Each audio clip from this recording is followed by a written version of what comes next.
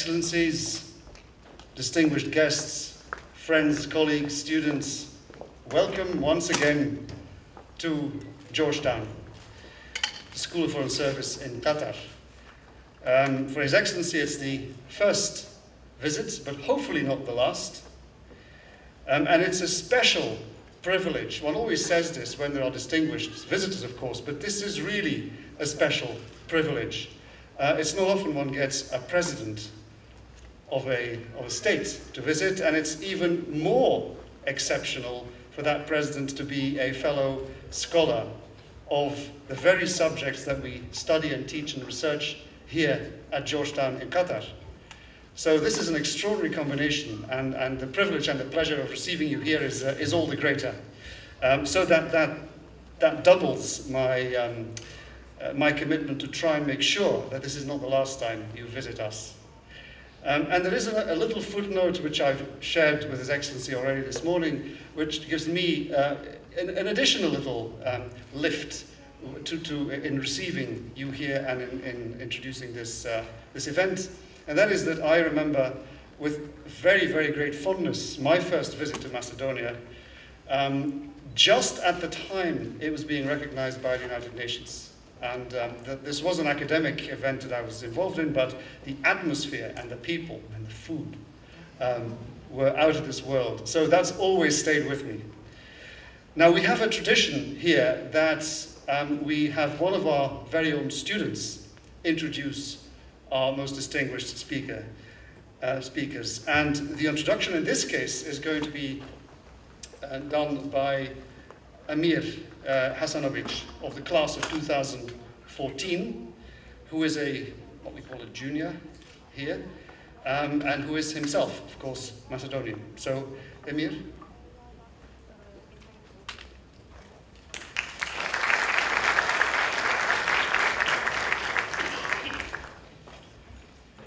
Thank you, Dean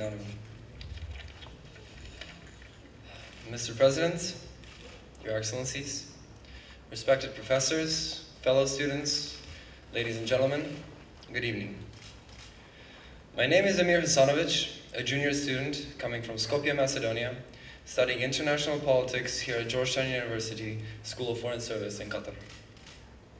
Today, I have the great pleasure and privilege of introducing to you Dr. Gjorge Ivanov, current President of the Republic of Macedonia. President Ivanov is a graduate of the law faculty at St. Cyrillus and Methodius University in Skopje, where he also earned his master's degree in political science with the thesis Civil Society, New Contradictions of an Old Debate, as well as his PhD on Democracy in Divided Societies, the case of Macedonia. Our distinguished guest in his early career was an editor of the Macedonian National Television in 1988 but after receiving his PhD, he commenced a career in the world of academia. He was a professor of political theory and political philosophy at the law faculty in Skopje, as well as a visiting professor to the Southeast Europe program at the University of Athens, Greece in 1999. President Ivanov is a leading expert in civil society research and scholarship in Macedonia. In addition, he is the co-founder of the first Macedonian political science journal, Political Opinion, the founder and honorary president of the Macedonian Political Science Association. He is also credited with the inception of the Institute for Democracy, Solidarity and Civil Society, a prominent Macedonian think tank. President Ivanov is here to speak to us about a topic of considerable relevance to us students of international relations, bridging two crossroads of civilizations, the Balkans and the Gulf. For me personally, it's an especially important day in my academic career. Today, my ambition and efforts are united. My ambition to lead and shape a multi-ethnic society the way President Ivanov has, and my efforts to hone my abilities in doing so here at Georgetown University School of Foreign Service, Qatar. Without further ado, please join me in welcoming our guest, current President of the Republic of Macedonia, Dr. Gjorge Ivanov.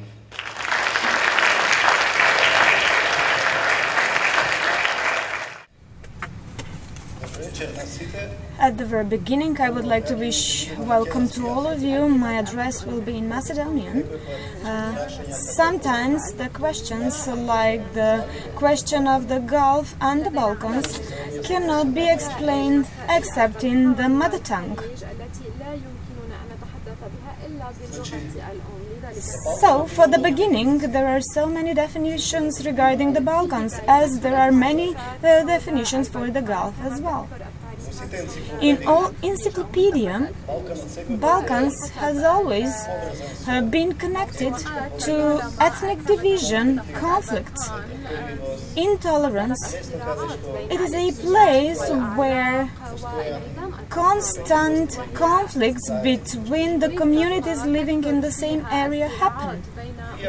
Although we use the definition from the Encyclopedia Britannica and also from the Webster uh, dictionary, it is always mentioned that the Balkan is a place of conflicts, of violence. And the term Balkanization is used for the Middle East, for the Near East, for Syria, for Sudan, for Pakistan, everywhere there are ethnic, religious conflicts. It's this term, the term Balkanization is being used. However, this is a definition from others, how they perceive the Balkans. So the others have given the definitions for the Gulf as well. You will find it as a Persian Gulf, as Arabic Gulf, or only the Gulf.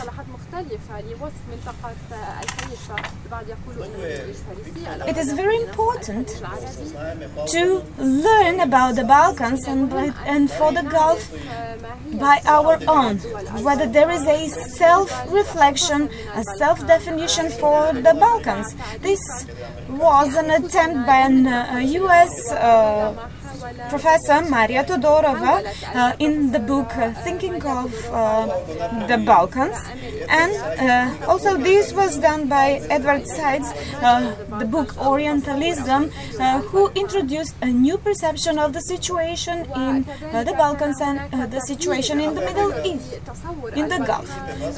when you're being defined by the others, they use too many stereotypes, prejudice, and fears. So for the Balkans, it is called that it is a, a barrel, a casket of barrel, That uh, the Balkan is the place where the Homo balkanicus lives. That the term Balkanization is a negative term. Uh, Maria Todorova and the other authors uh, dedicated to researching this issue and defining the situation in the Balkans. They say that uh, if the if the Balkans is uh, the barrel of uh, powder, then the ignition has never been on the Balkans, that the Balkan has other issues uh, that might not be seen by the others. The same goes to the Near East and the Gulf. So, the Balkan is a place where uh, different civilizations get into contact, where different cultures merge, where different religions meet. So, the Balkans is the gate uh, to the Europe and also it is the uh, door from Europe to Asia. You will also see that Europe has received its name from the uh, Near East because it is a Phoenician princess which was in relation with Zeus, who was taken to uh, Crete, and that's where the name Europe has started being using. And also the civilization, the European one, uh, originates from the Near uh, East, uh, because it originates from the Judeo-Christian uh, civilization.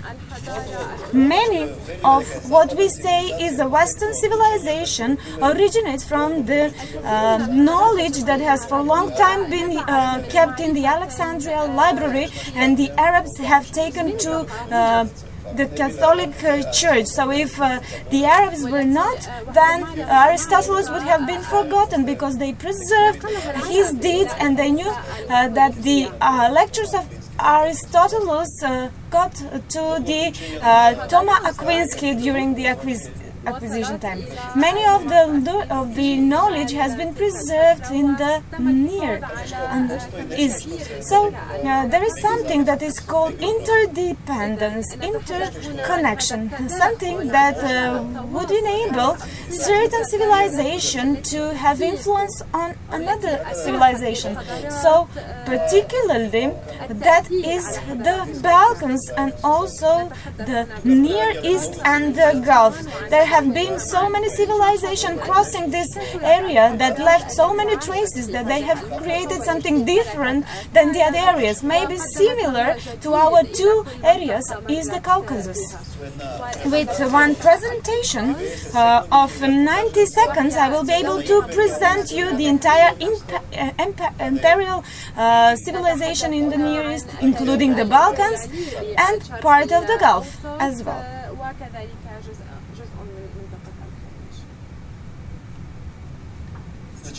So you can follow the time uh, line uh, downstairs. It starts 3,000 years before Christ when uh, the uh, kingdom of Egypt was established.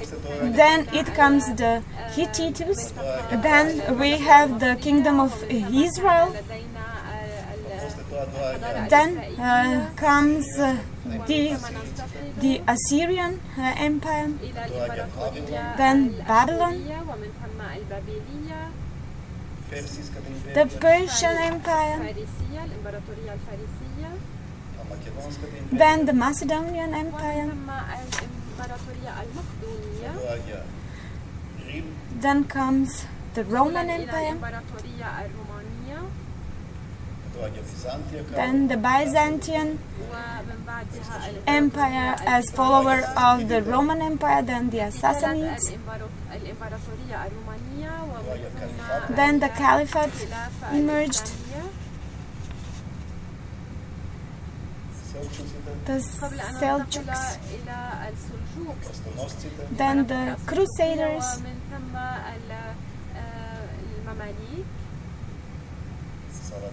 the Saladin,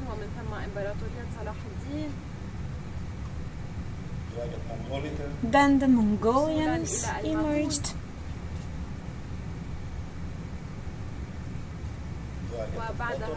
And then this was followed by the Ottoman Empire, then the European colonization, and the period of the nation states, which is the 20th century, and the establishment of the new state of Israel after the Second World War in 1948, and in this time, uh, the, this empire, imperial history ends with independent states. What can we conclude? Uh, we have uh, not mentioned the Arab Spring and the uh, struggles in Syria, which are currently ongoing as conflict. What uh, can we conclude from this imperial history? The written history of uh, humankind is approximately 3,000 years. Here we have also included the period before 3,000 years, for which we have myths and legends, not arguments. the argumented and documented facts of the human uh, history are in this period of 3,000 years. In uh, the period of 2,700 years are uh, years of uh, war and conflict. Uh, the world, world, the world lived in peace only for three centuries. But here is the greatest paradox: uh, the longest periods of peace were in the Balkans, and we will prove this statement. We will have the opportunity to see the same animation of the history of the religions.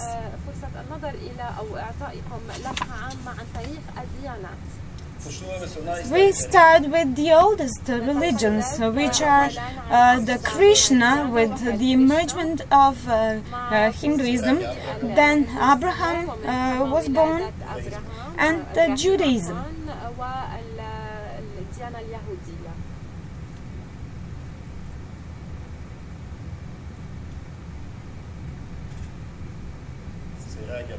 Then the birth of Buddha in 480 and the spread of Buddhism, then the death of Jesus Christ in uh, 32nd year, and here we have the catacombs in the beginning and the conquer of the entire Roman Empire.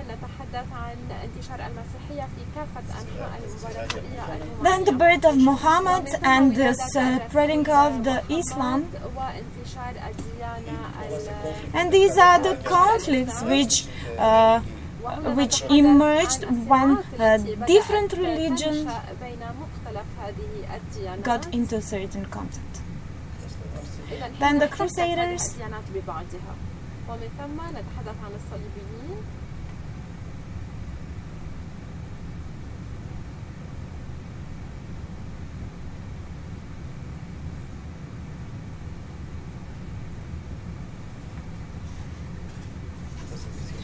Here are the missionaries uh, who were active in uh, South, uh, um, in Latin America, in, Af in Africa. And also this is the today's picture of the religions in the world. So what can we uh, draw as a conclusion from the imperial history and from the history of religion? That we have always been captured by the perception of the world as it is today, from these pictures. Because we think that uh, the world has constantly been like that and that it will be in the future. But uh, on the contrary, the world is constant constantly changing. Uh, when we understand this dimension, then we will uh, have a different uh, definition regarding the Balkans as well as the Middle East and the Gulf. Then we go back to the paradox that I mentioned, why there was uh, peace on the Balkans for the longest periods and why in the Middle East there are periods of peace where when everywhere in the world there are conflicts. We have seen that the Balkans and the Gulf are places uh, where different civilizations are melting, uh, where different religions get into contact, which are changing constantly, which are not given as such. And this also contributed to, having various uh, links and connections between different cultures and civilizations. Uh, in this regard, the civilizations are in interaction. And here are the uh, periods of peace which were in the Balkans and in the Middle East. Uh, they were called uh, Pax Romana and Pax Ottomana. We know that uh, Rome was an empire with a tyranny and it uh, had the power to impose peace and the peace lasted from the period until the death of Cleopatra when uh, August Octavian was conquered by uh, by Antonio by the end of the uh, uh, that of the emperor philosopher Marcus Aurelius, which was known as a period of uh, peace in the entire. Uh, also, in the period uh, uh, in the 16th and the 17th centuries, there was no war in the Balkans, which is known as Pax Ottomana, and this tradition is even present today in Macedonia. What is the reason for lasting peace? we've mentioned that the various empires uh, create complexity of civilizations, cultures, uh, religions and languages. Uh, the, this diversity, when is at open space, there is no conflict. Only the empire can open the space. Because when you open the space, you open people's minds. And people have the need to communicate with others, and that is how lingua franca or the communication code is established, so that they can establish communication between themselves. People with open minds have the need of competition. And that is how they create a market. And the market uh, has the need of a single currency and all have the need of neutral power. That is the emperor during the Roman Empire and it is the Sultan during the Ottoman Empire having this role. Pax Romana left as a heritage something that is considered the foundation of the civil uh, human civilization which is known as the rule of law. Uh, through Justinian uh, who understood the role of regulating the uh, relationship uh, between people uh, created corpus juris civilis and regulated all human rights and um, uh, privileges uh, in terms of family, property, ownership, uh, legacy, and uh, settled all the conflicts through the rule of law between people. That is, uh, how, that is why this was uh, regulated as a norm in order to prevent or regulate conflict if, if there is such. the legacy of the Ottoman Empire is more substantial for our region because the Ottoman Empire uh, established a tradition of religious tolerance. So, that tradition is uh, evident in our space uh, that existed in the Balkans from the ancient times. There is different difference between the policies which were in the Balkans and those policies in South uh, Italy, Greece and in other places. You can also find this in the attitude of Alexander when he went to the east and he merged various cultures and some of the cultures or part of the culture brought to Europe. You will also find this in the influence uh, present and evident throughout uh, the entire period in our space and we can define them as uh, inheritance from the Millet system and Komshi Kapijik philosophy. The Millet system is a tradition that uh, was uh, launched with the uh, Tsarigrad conquer and when the Sultan gave the right to the uh, Orthodox uh, Church, Catholics to have entire rights um, and also this happens with the Jews when the Jews were expelled from Portugal and Spain and they arrived on the Balkans and they also were given the right to have their own religious community. The Armenians and the Georgians, because they have a separate church from the Orthodox, they also had their own millet. And along with the Islam or the Caliphate, uh, which uh, emerged later, there are four uh, millets. Uh, there were not so many researches uh, regarding the millet system and there are no in the western civilization so there are not so many definitions from the western civilization. Uh, however it uh, disguises the, uh, the, the, the, definition regarding the situation in the Balkans in the Caucasus and in the Middle East as well. The millet is a Persian word which was used by the Arabs for the entire period and it refers to what in the western civilization uh, has the notion of nation. Um, however, the millet is a religious community, it is not an ethnic uh, community. And every millet has all the rights as the caliphate has. So it means they have religious leader and the religious uh, uh, leader is called Millet Bashi, which is a Turkish word, uh, who is uh, given this title if he uh, gives the Sultan 3000 gold coins. So then he has the berat and has and is entitled to uh, pay for those money from his followers. All civil rights issues are being regulated regulated by the church with the church canon. And uh, because the Sultan, both as a Sultan as a Caliph, he implements the Shariat on all uh, uh, on all uh, Muslims, but he cannot do this to the Jews and to the Christians. He allowed the Christians and the Jews uh, to respect their own uh, tradition and beliefs. So the millet is a religious community enjoying all the rights, but they have no territory. This is for the first time in history that we have the notion of collective rights. Uh, by belonging to one certain millet, you've been protected on the entire territory of the empire. And that's why during the Ottoman Empire you could be uh, you could find uh, uh, Orthodox uh, Christians in Africa. You could also find Jews uh, in the Balkans. You you could also find Jews in the Caucasus. You could also find Muslims in the Balkans, but also in Africa, in Asia. With the fact that you belong to certain millet, you are being protected.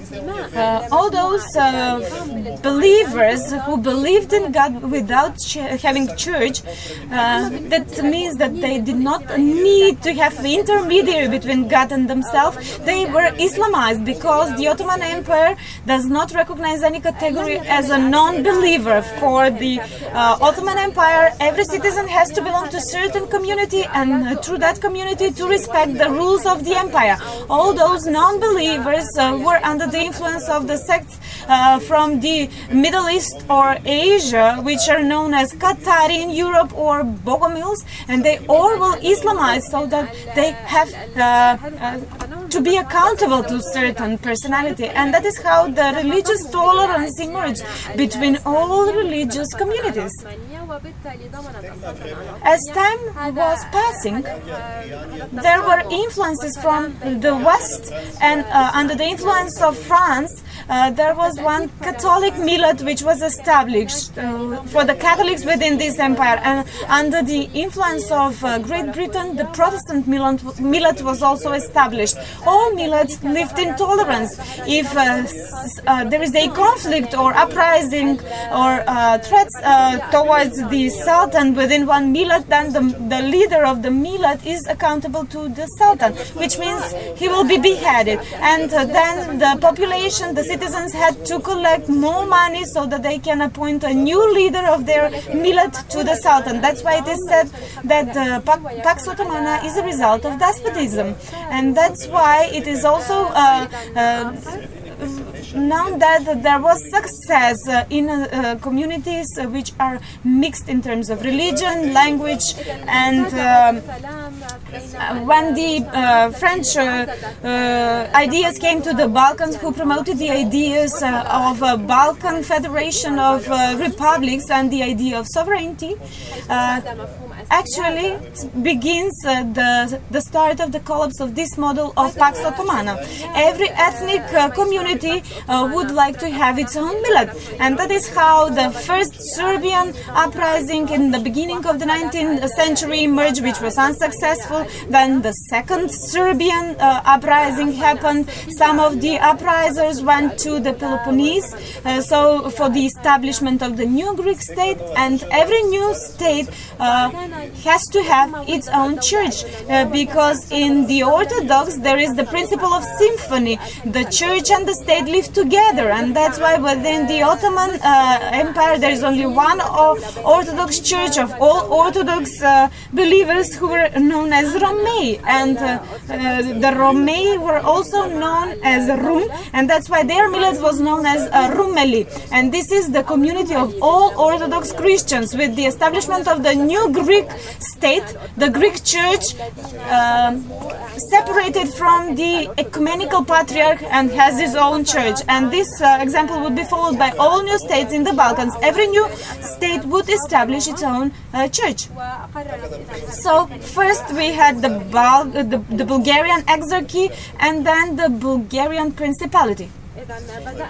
And then uh, we have the uh, Peć uh, patriarchy and then the Serbian state. Uh, so today's identities on the Balkans are actually result of the millets and that's why uh, they are religious identities in their background. Uh, example for that was the conflict in Bosnia so that we can understand the tradition out of it. Uh, in Bosnia, if you are Orthodox, then you are then you are Serb. If you are uh, Catholic, then you are Croat. But if you are Muslim, then you are a Bosniak. So you cannot be at the same time both Muslim and Croat, Catholic and Serb. So a synonym for a Serbian personality is Orthodox, and for the Bosniak is the Islam, and for the um, Catholic Croat, uh, the last uh, uh, places where the Millet system was ruling. Even today, you can be a Macedonian Muslim, Macedonian Orthodox, Macedonian uh, Catholic, Albanian Catholic, Alba Albanian Orthodox. Exactly this tradition of the Millet system established Macedonia uh, in itself, uh, its tradition and respect towards its model of tolerance, which is also present even today. So, this tradition uh, you can feel if you go in Kichava, for example, when you're in Macedonia and visit the monastery called Bogorodica Prechista where even today you can find Muslims and Christians visiting this same uh, religious uh, facility and praying under the same roof. The part which is reserved from the Muslims is, uh, has no icons and frescoes, but the part that is uh, de dedicated for the Orthodox, there are churches, uh, there are frescoes and icons. And also it is being visited by the Sunnis and by the Orthodox. If you visit, for example, the monastery Saint Nicola, which is Teke and an Orthodox uh, Christians. It is vis visiting by uh, Shia Muslims and by uh, the um, Orthodox. Uh, you can see at the same time there is a, a priest, uh, which is Orthodox priest, and one Baba, which is Bektash priest.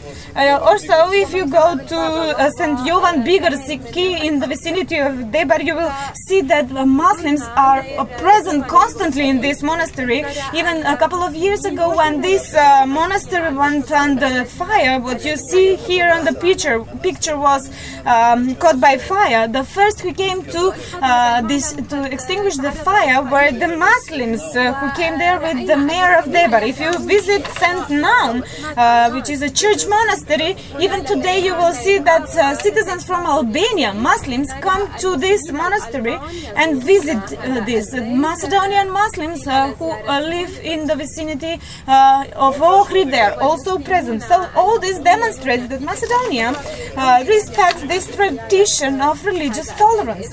And it has created people who are known for their let's call it tolerance. Uh, for example, uh, Mother Teresa, who was born in the center of the city of Skopje. Her uh, mother was an Albanian Catholic, and uh, her uh, father was a Vlach.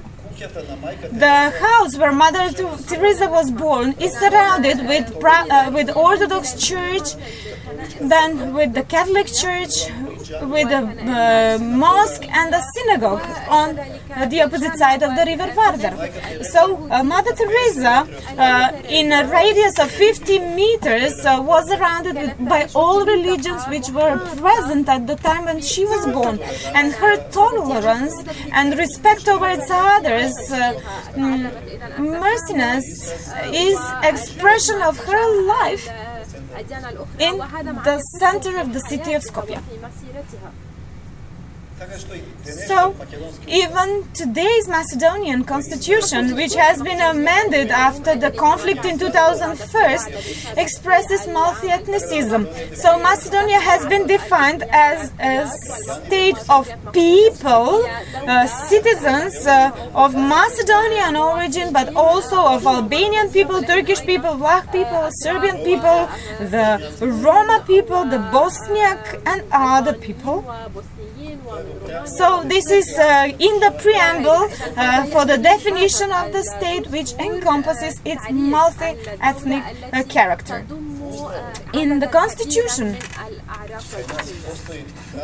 there is one rule that the official language of the state is the Macedonian language, but also the language of the community, which is being spoken by more than 20%, is also official language of the state. So, if there is one uh, area uh, which is populated uh, dominantly by Roma, then the mayor is Roma. But if uh, uh, there are 20% uh, of Turkish minority in that uh, municipality, then also the Turkish language would be uh, official language. Uh, most probably, we are the only uh, country in the world where we have a mayor of uh, Roma origin having its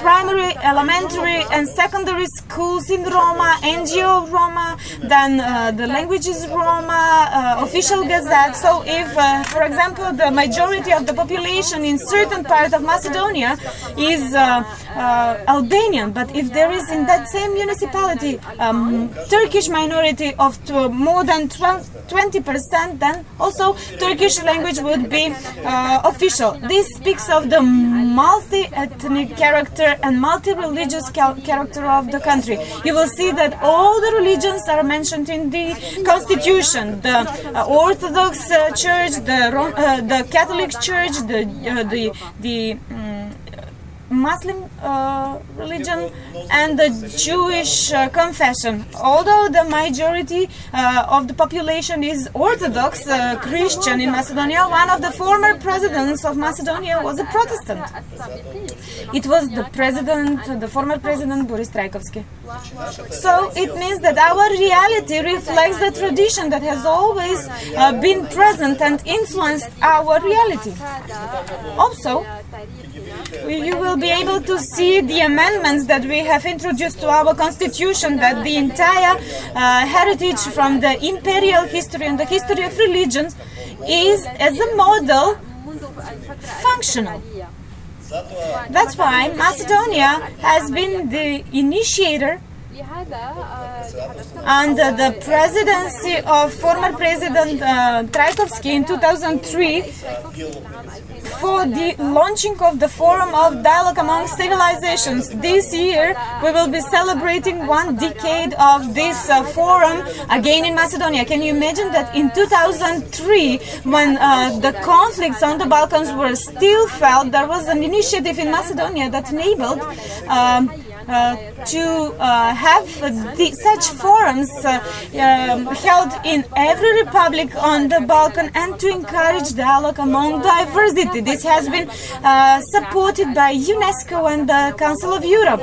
Um, only the words, the text of the declaration from Ohrid depicts the objective and respect towards the heritage, heritage for respecting diversity. so Macedonia is is also initiator of the World Conference on Dialogue among Religions and Civilizations.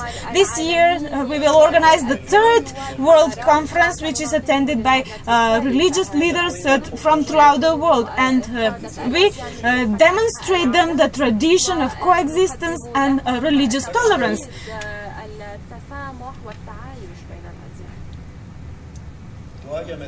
So we came to the point that all these initiatives uh, that are being uh, organized in Macedonia is something that has always been present there. It is a tradition that has always been respected. And we are trying uh, through these initiatives to point out that when you are part of democracy, then democracy has to be inclusive. It has to include diversity because there are cases in which democracy excludes diversity, which is basis for conflict. So uh, in a multi-ethnic uh, society, if you implement democratic model, then it has to be a model of integration without assimilation. So when uh, you establish relations with your neighbors, they have to be founded on respect of diversity. So, if during uh, Roman uh, period there was Pax Romana and during the Ottoman Empire there was Pax Ottomana, we come to a period uh, when uh, Pax Europana is a possibility because only the European idea can again open the space and establish people with open minds. We've witnessed uh, what a single person on the Balkans with a closed mind could do and what the consequences were from Milosevic's reign. Uh, also, the idea for an open space is idea that can only be offered to the Balkans by Europe. Only Europe can uh, establish again one market and also can establish uh, neutral power. What used to be Sultan and the Emperor, today it is the uh, Court of Human Rights in Strasbourg. Every citizen in the Balkans uh, can uh, file an application against its country to a neutral power as all uh, during the Ottoman Empire have addressed as a last resort to the Sultan the globalization has created that uh, uh, for the first time in history young people use one and the same language. It is the english language. So the open space virtually exists and there is the cooperation and communication as i said uh, enables for integration. Those who uh, do not communicate become part of ghetto. Uh, they are isolated and they create uh, prejudice and stereotypes. As the european idea in the Balkans is perceived uh, such an idea is necessary for Middle East and for the Gulf as well. It should be an idea which is already respected by uh, younger generations because they uh, uh, listen to the same um, music, they watch the same movies, they rarely read, but they read the same books and uh, they uh, watch uh, worldwide um, networks and TVs and use the internet, Facebook and all the other methods which are new but are meant for communication. So we come to one uh, truth that every state as the greatest treasure in the world is in its citizens. If uh, we invest in education of people and if uh, enable them communication and if we enable them to have tolerance uh, for the others and if uh, the other one is respected, you should expect uh, respect from the others, then we have period of peace. Conflict is lack of communication and dialogue is a lack of respect for the others, is result of intolerance towards the tradition and the habits and customs of the others. We live in a world in which the life is so swift and uh, time is leaking away so quickly. And that's why everyone says, how have I spent my life before he dies? And then we recollect of the wisdom of our predecessors who taught us that we should uh, respect what we have and not to cherish for what we do not have. When we respect what we have, we will uh, have it and we will uh, have uh, even uh, an attitude towards it for as a protector. If uh, we go for what we do not have, then we might be in conflict with those who have what we desire to have and we still do not have. I think that this was enough. I think that uh, uh, I have provoked uh, further discussion and debate among you. Thank you very much for your attention.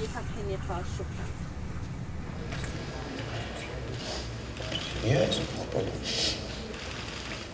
So, ladies and gentlemen, um, His Excellency's kindly agreed to engage with you for a little while. So any questions, um, remarks kept brief will give us plenty, plenty of time to get a little bit of engagement. So I think there should be a um, there should be a microphone floating about. Okay.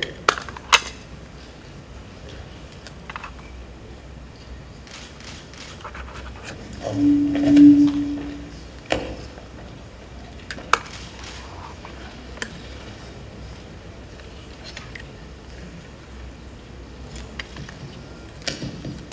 President, thank you for your um, speech, uh, lecture.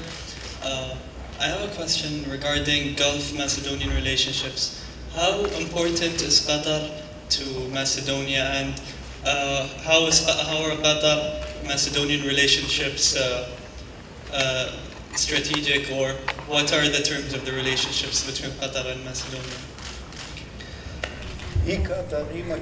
Both Qatar and Macedonia are two small countries. Both Macedonia and Qatar are small countries, and small countries understand each other better in terms of understanding small countries and big countries. So it means that Macedonia is in the Balkans where there used to, uh, where, where there is uh, so much history and very little geography. And also Qatar is a place where there were so many conquerors, invaders, foreign colonies, let's call them occupiers, both Portugals, British, uh, Persian uh, and some other civilizations. Uh, since we are faced with a small area in comparison to other countries which are big countries, we as small countries, we should not uh, look for a physical expansion of the country. Uh, we as country, we, we as countries, we should uh, grow in height so that we can establish people with the highest qualities people with uh, highest capacity for inventing new ideas, products and friendships. So, as small countries, we can uh, prove today our uh, greatness because in the internet there are no limits, no boundaries. Respecting our culture, tradition, and demonstrating our identity, our specificity, we will be able to find similar to us. And that is the idea of uh, His Highness uh, who supported the Alliance of Civilizations. That is our idea for dialogue among civilizations. Because every conflict would not appear if there is dialogue, if there is communication, talks, and if we find a way for a joint position for certain issues that we have uh, dissenting opinions. And that's why we feel that Macedonia with the establishment of the economic cooperation with Qatar and with the culture cooperation these days we discussed about cooperation in uh, higher education in the area of tourism. Uh, we would be able to establish close uh, relations of uh, trust and confidence and then we will communicate and we will uh, present ourselves to third parties as countries that can offer certainties and we can offer our model of integration without assimilation, our amendments to the constitution that uh, go for inclusive democracy, you can uh, offer vision how to invest in young people through Qatar Foundation, which enabled you to have such uh, universities which are prominent in the world, to be present in the Gulf, and where you can share your knowledge, experience, vision and ideas with others.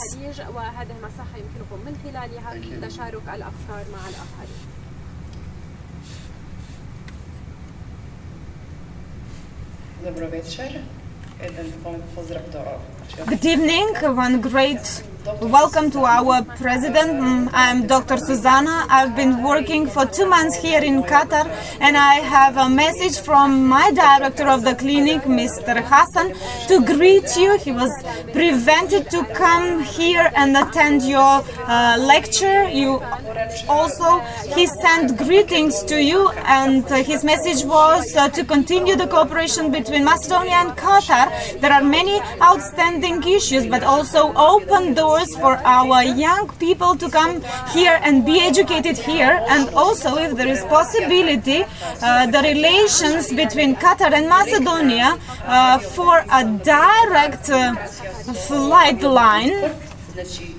So not to use uh, different uh, places, but a direct flight line from Skopje to Doha, and he wished a pleasant stay here and also to the uh, delegation and greetings to the ambassador of the Republic of Macedonia. Thank you. I already had talks with the, the president of the CEO of uh, um, Qatar Airways, and there are uh, preparations uh, regarding opening a direct flight from uh, Doha to Skopje for the next year. We, they are uh, um, surveying all the uh, possibilities, and most pro pro probably next year there will be a direct flight. And for the exchange of students, you know, before becoming president, I was a professor. And again, I will be a professor. And in order to keep up with this, as a president, I established the uh, project, the so-called uh, School of Leaders. So I would offer you one or two best students from this university, graduated who are at the master program, uh, can come and attend the School of Young Leaders, uh, which is uh, being uh, the hub of the greatest the British, US and from all other parts of the world uh, professors where we train them to be leaders, but not leaders in politics only, in all areas. We need people who uh, have the capacity and the ability to be leaders. That is what we taught them at our uh, School of Young Leaders.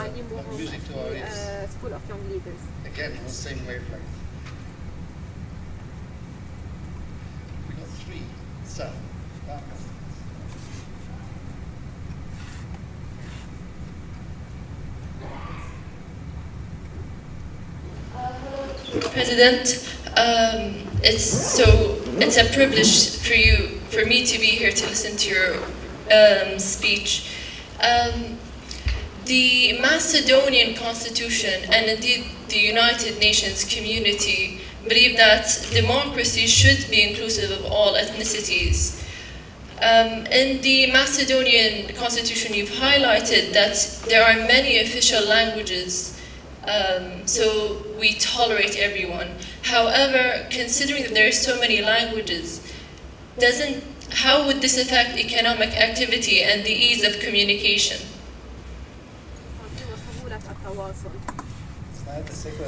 Every community has to have a communication code.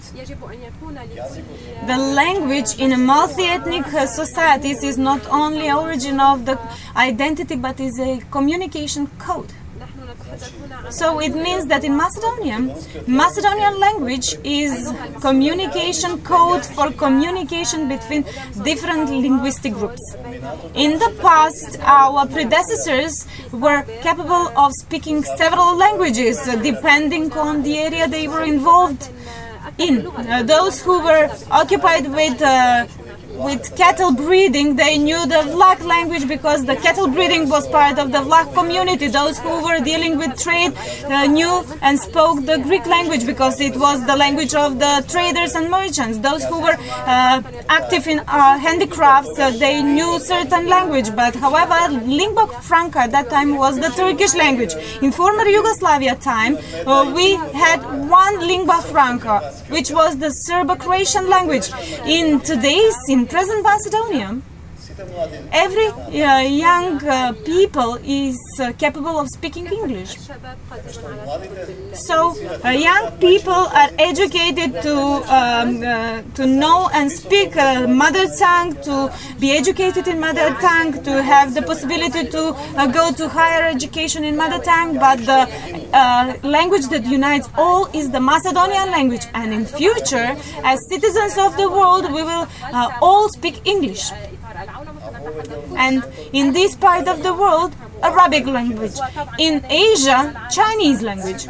And the civilizations have established their own communication codes, but the globalization creates its own code, and it is the English language that has no uh, strict um, grammar rules. It is mostly used for uh, communication and not for writing poetry. للتواصل ولكن ربما البعض قد لا يستخدمها للشعر. Is working. Yeah. Good evening, Mr. President, Your Excellency. I'm Ambassador of Bosnia and Herzegovina. Thank you very much for the enlightening lecture and uh, the fact that your position on, on cooperation and, and tolerance uh, gave us a little bit more courage. Uh, please, what is uh, your position today in Macedonia regarding the European integration and NATO, and uh, what is your position? Uh, how the, the, that integration, not only of Macedonia, but the other countries, West Balkan countries, how it will uh, look like in the future, and will the possible European integration and NATO will bring stability in the future for the region? Thank you very much. I've mentioned that the European idea for the Balkans is even greater than uh, for the other candidate countries. The European idea for the Balkans is again uh, to restore peace. Because the European idea itself is a peace project. And that's why all those who live in the Balkans hope that with the integration uh, in the European Union, uh, the peace will come in the Balkans. It doesn't mean prosperity or what the ordinary citizens uh, think that everything will be changed and the life will be easier. With the European Union, we have European standards, values and principles that we have to implement. Uh, but when all these principles are, are respected, then the citizens have uh, legal certainty secure future and uh, willingness for pursuit of happiness. So uh, the uh, space will be open, the market will be open, and the possibility for success is open. Uh, as long as we are kept outside of that open space, we are uh, exposed to mutual conflicts, mistrust, intolerance, and that's why I said that the message from the past is that peace would come when uh, the space is open. Bosnia is uh, the greatest uh, witness of uh, the life in an open space and when Bosnia, as I said and as the former uh, president said, uh, Izetbegovic was a tiger's skin. Uh, it was not important to what ethnic community you belong but that you respect each other. That tradition of let's call it of the millet system of religious tolerance disappeared with the conflict in Bosnia when the identities uh, became territorial.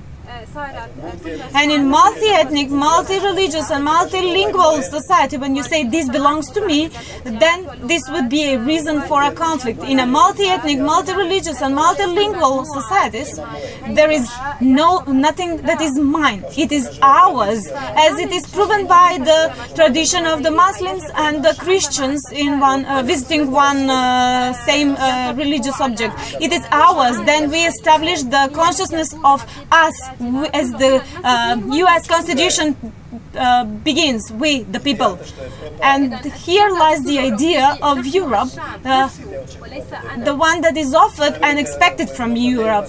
Because we know that the situation in terms of economy in Europe is not great. We know that there are so many conflicts uh, um, uh, regarding the diversity, the Islam, the refugees, but however, the idea is very, very great because it would bring peace. Because uh, the peace is the most valuable thing in the human history. No one respects peace when there is peace. Uh, you can ask them in Syria what means, uh, what peace means for them. And that's why we've learned a great lesson, a moral one in the Balkans, that uh, in the Balkans, uh, in the 20th century, we had two Balkan wars, two world uh, wars, we had the Cold War and the hot, uh, hot peace after the collapse of Yugoslavia. It is time the Balkans live in peace and this uh, state, uh, we see it only through Europe, and that's why Europe is the one that can offer future to the Balkans. And that's why NATO as structure of that future, however, we need to provide infrastructure to have peace. That's why we believe that NATO is uh, an umbrella under which all of us can be hidden. Security and when security uh, is present, we will be prosperous. Europe uh, uh, went through many crises and it got out of those crises. However, young generations should believe more in the European future. Because, I will repeat, European, uh, the European Union received the uh, Nobel Peace Prize because it is a synonym of peace, and that's why we need more Europe in the Balkans. And that's why we do everything to have to be Europeans.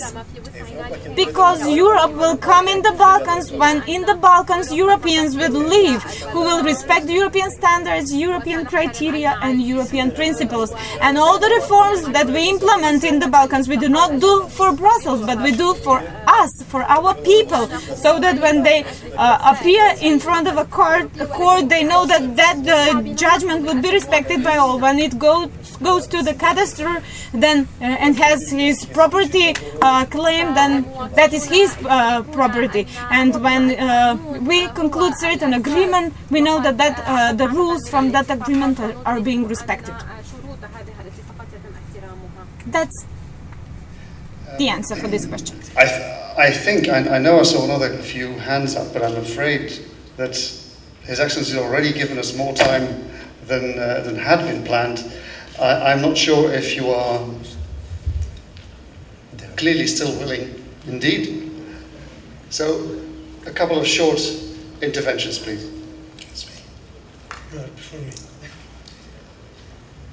Your Excellency, uh, thank you very much for coming uh, here today. It's a privilege uh, to have you with us. Uh, my name is Dimitris Abdelis. I'm a student here at Georgetown and I am from Greece. Uh, by closely studying the dispute between uh, the two countries, I understand what it means to you to be a Macedonian and understand how essential it is for your identity, as I am sure you understand how essential it is for the Greek identity. At a time when consensus and collaboration is necessary between the two countries, uh, in order to finally resolve the dispute. I wanted to ask, uh, why has your country resorted to using uh, historical references which have Greek origins, such as Alexander the Great, Philip II? Um, been using these references for your airport, hospitals, and so on. How do such actions help uh, resolve the dispute? And what are your goals and your purposes um, behind such actions? Thank you. Regarding the relations between Macedonia and Greece, there are so many different opinions. Some think that we are at the verge of a war.